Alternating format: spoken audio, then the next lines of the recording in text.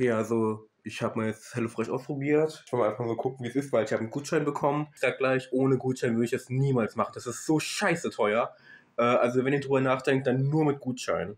Also so sieht es innen drin aus. Also zur Info, ich habe vier Gerichte bestellt. Ähm, das Lustige ist, man kann mindestens, also muss mindestens für zwei Personen bestellen. Ich bin aber eine Person. Aber ich denke, die Portionen werden eh so klein sein, dass das für eine Person genau richtig ist. Fladenbrot.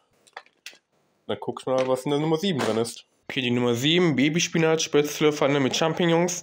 Ähm, was ich noch zu sagen sollte, ich habe keinen Ofen. Das heißt, ich musste die Gerichte so wählen, dass man sie machen kann ohne Ofen. Guck ich mal, ob ich das hinkriege. Weil ihr solltet wissen, ich bin ein beschissener Koch. Was den Rest betrifft, den packe ich alles in den Kühlschrank, beziehungsweise das da. Das riesige Kissen, das soll in die Tiefkultur, das mache ich jetzt auch gleich. Und dann mache ich die anderen Gerichte halt in den nächsten Tagen. So, was haben wir? Wir haben Rucola, Champignons, die muss ich gleich schneiden. Rahm. Okay. Eine Zwiebel. Ja, oh Gott, Chili, ich hasse Chili. Ich glaube, das mache ich nicht. Brühe. Walnüsse. Eine Tomate. Äh, Paprika. Eine Zehe, Knoblauchzehe. Das war's. Okay, gemäß der Anleitung habe ich jetzt alles geschnitten, außer das Chili. Ich weiß nicht, was ich damit machen soll, weil ich will da kein Chili reinmachen. Ich mag kein Chili. Vielleicht esse ich das in der Mutprobe einfach so direkt oder so, keine Ahnung. Aber ich lasse es erstmal weg, mal schauen, was passiert. So, jetzt als Schritt 2 muss ich Walnüsse ein bisschen anbraten lassen. Na komm, Pfanne. Ähm, ohne Öl, ohne irgendwas. So. Dann, keine Ahnung. Manchmal ist es komisch. Also da ist gar nichts, außer die Walnüsse drin, kein Öl, kein gar nichts. Also in der Anleitung stand ein bis zwei Minuten dauert das nur. Also ich sehe jetzt noch keine Veränderung. Mal schauen. Okay, also ich warte jetzt schon eine ganze Weile, mehr als nur ein, zwei Minuten. Äh, ich weiß nicht, ob sich da was getan hat. Also wenn ich umdrehe, sind die schon verbrannt ein bisschen. Äh, aber für so eine Oberfläche hat sich kaum was verändert. Also ich denke mal, das reicht jetzt trotzdem. Äh, aber den Part habe ich jetzt nicht verstanden. ja, also äh, vielleicht hätte ich auch mehr wenden müssen. die ist einfach total verbrannt zum Teil. Ihr, ich habe doch gesagt, ich kann nicht kochen. Aber gut, kommen wir jetzt zum Hauptschritt. So, jetzt habe ich endlich mal Öl reingetan und Spätzle, die noch ein bisschen gefroren sind. Ah, shit, da hat sich einer verabschiedet. So, dann muss ich jetzt kurz warten und das in einer Schüssel tun. In der Anleitung steht, man muss warten, bis die knusprig angebrannt sind. Äh, nach 5 Minuten etwa. Und ich stehe hier auch schon seit bestimmt 5 Minuten und die sind noch nicht knusprig. Also ich habe gerade probiert. Die sind zwar weich und warm, aber nicht knusprig. Und nur, wenn, dann ganz bisschen knusprig. Und jetzt habe ich Angst. Muss ich noch länger das machen oder tue ich die trotzdem schon mal frühzeitig rausholen? Weil in der Anleitung steht, die kommen später nochmal in die Pfanne mit all dem Gemüsezeugs. Da habe ich ein bisschen Angst. Also ich lasse mal noch ein bisschen drin. Ich habe die Hitze auch ein bisschen runtergestellt jetzt. Ähm, die sind jetzt halbwegs knusprig, denke ich mal. Also die großen sind immer noch weich. Aber ich traue mich einfach nicht, das noch länger da drin zu lassen. Äh, übrigens auf der höchsten Stufe. Ähm, ja, deshalb tue ich die jetzt trotzdem raus. So, da stand, dass man die in die Schüssel tun muss erstmal. So, hoffentlich verkacke ich das nicht. Ich habe verkackt. Ah, shit.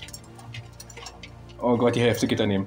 So, jetzt kommt das Gemüse rein, das wir vorhin geschnitten haben. Das muss man jetzt anbraten lassen. Für 5 Minuten laut der Anleitung. Okay, ich hätte es jetzt eine Weile anbraten lassen. In der Anleitung stand 5 Minuten, aber das Blöde ist, ich habe keinen Timer. So, jetzt muss ich diese Sahne reintun. Und dann noch ein bisschen Wasser.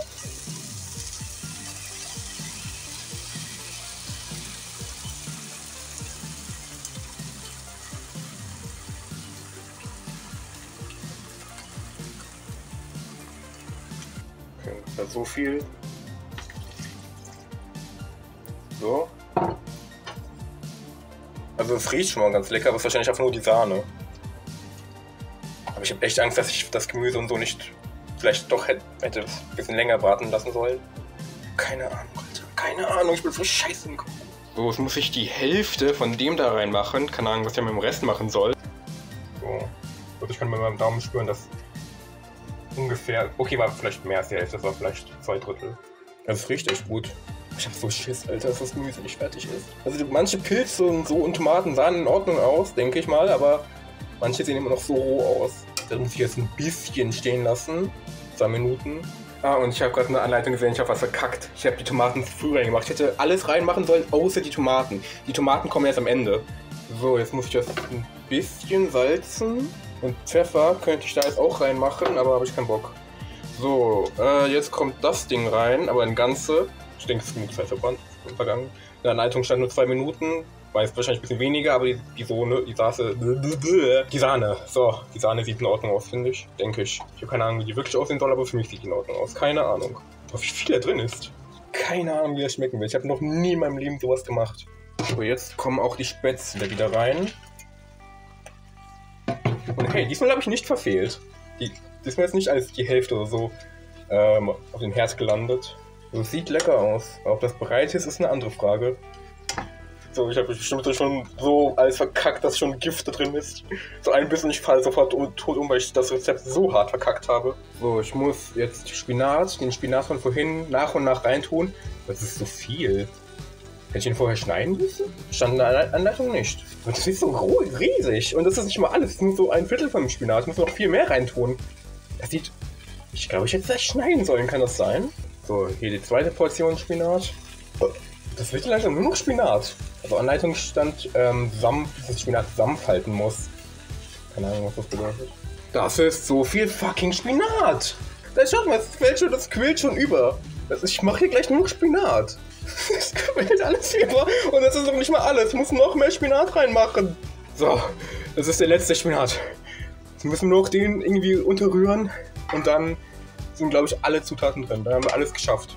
Ja, dann ist das eigentlich schon fertig. Ich muss nur noch salzen. Und also ich könnte auch pfeffern, aber ich habe keinen Bock auf Pfeffer. Ich weiß nicht, ob ich das schon gesagt, gesagt habe. Okay, Ladies und Gentlemen, da haben wir es. Ich habe hier auch die Walnüsse äh, oben drauf getan, die komplett verbrannt sind. Da mal gucken. Okay, jetzt kommt der Moment der Wahrheit.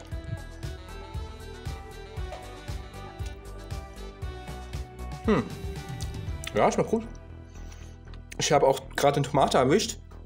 Und obwohl ich die viel zu früh reingetan habe, schmeckt die auch ganz gut. So, nochmal jetzt mit dem bisschen Walnuss. Ja. Obwohl die Walnüsse verbrannt sind, ergänzen die es ganz gut sogar. Bin überrascht. Das hätte ich nicht gedacht. Obwohl ich so viel wahrscheinlich verkackt habe, schmeckt das ganz gut. Ähm, aber was ich sagen muss, das ist für zwei Personen gedacht. Also ich habe noch in der Pfanne ein bisschen was übrig, also ich habe halt nicht alles draufgepasst, aber ähm, wenn das für zwei Personen ist, wird das schon ein bisschen eng. Und für eine ist das ein bisschen zu viel. Also ich sehe es positiv, da habe ich halt morgen Reste essen halt. Also Tag 1 haben wir geschafft. Überraschenderweise keine Katastrophe. Also gefällt mir, ganz cool.